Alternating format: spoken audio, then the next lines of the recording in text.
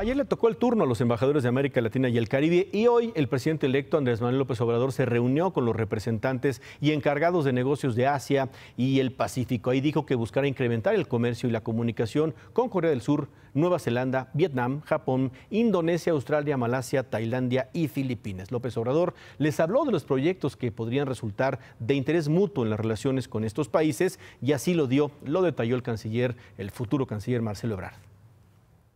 El crecimiento en los próximos años se va a dar en Asia. Si sumamos China a los países que les acabo de referir, estamos hablando de la economía más grande del mundo.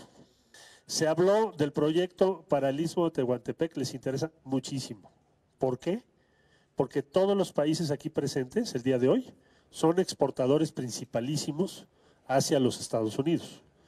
Como ya se hizo costumbre en las oficinas del presidente electo López Obrador en la colonia Roma, hoy se dio esta situación. Un grupo de artistas procedentes de Oaxaca llevaron una banda de música y danza al presidente electo. Y él, él salió de sus oficinas a saludarlos.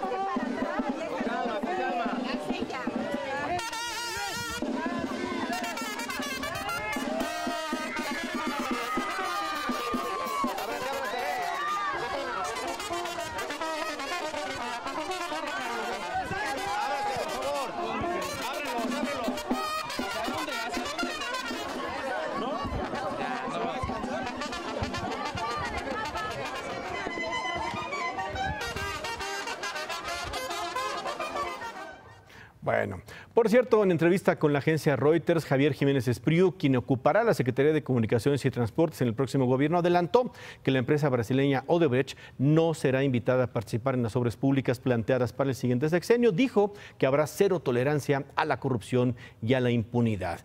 Imagen Noticias con Ciro Gómez Leiva, lunes a viernes 10.30 pm. Participa en Imagen Televisión.